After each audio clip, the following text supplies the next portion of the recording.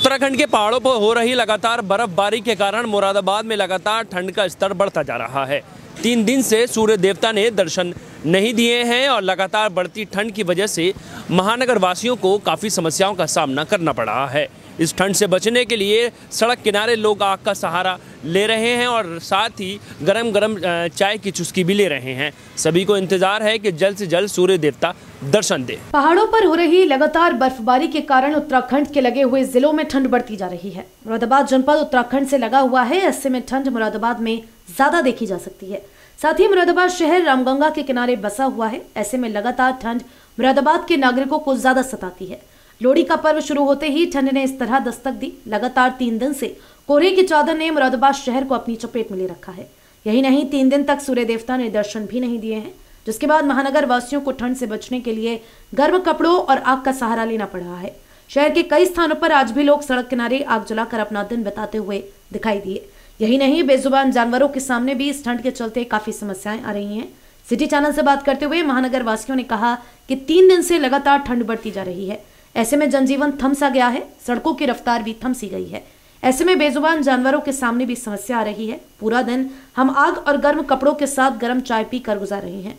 City channel से बात करते हुए सड़क किनारे आग के सहारे दिन बता रहे महानगर वासियों ने बताया। ठंड इस टाइम तो बहुत है, तीन दिन से बहुत ज़्यादा ठंड पड़ रही है। हर आदमी परेशान है ठंड में। सूरज तो दिखाई नहीं दिया, कई दिन से, सूरज, चार पाँच दिन से सूरज नहीं दिखा, तीन, चार दिन से। कैसे आप इस आग से बच रहे मतलब ठंड और ठंड के बचने के लिए आग जला लेते हैं। ठंड में और क्या है?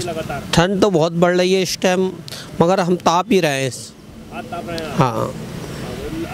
ऐसी कभी ठंड पड़ी है पहले पिछले दिनों में या फिर ज़्यादा है? ठंड तो अब इसमें इसमें कम पड़ी है ठंड अब ज़्यादा दो तीन दिन से चार चार दिन से ठंड बहुत पड़ी है। क्या कारण है उसका? क्या पता लग रहा है? बर्फ़ बर्फ़? बर्फ़ पिघल रही है। पहाड़ों पे? हाँ। ठंड से बचने के लिए क्या क्या आप वो करते हैं? अब ये है कपड़े भी है ये भी है आग भी ताप रहे हैं बैठे हुए। चाय भी पी लेते चाय भी पी लेते हैं। जैसे जानवरों को बेजुबानों को बहुत परेशानी हाँ, बहुत दिक्कत हो रही है उन्हें। अच्छा। इधर उधर बेचारे भटके फिर रहे हैं वो।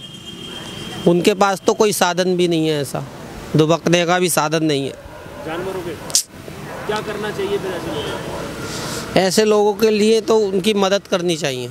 कुल मिलाकर मुरादाबाद शहर में लगातार तीन दिन से ठंड का स्तर बढ़ता जा रहा है। अब ऐसे में मौसम विभाग के मुताबिक ये ठंड लगातार अभी और बढ़ती हुई दिखाई देगी। ऐसे में सभी महानगर वासियों से स्वास्थ्य विभाग ने सावधान और सचेत रहने की अपील की है। कहा है कि गर्म पानी का सेवन करें, बेवजह घर से ना निकले, साथ ही कोविड 19 गाइडलाइन का पालन करें। किसी प्रकार की कोई समस्या हो तो तुरंत स्वास्थ्य विभाग को सूचित करें। मुरादाबाद में बढ़ती ठंड के मद्देनजर लगातार व्यवस्थाएँ खराब होती हुई दिखाई दे रही है। सुबह कब शुरू होती है और शाम कब हो जाती है ऐसे में पता ही नहीं लग रहा।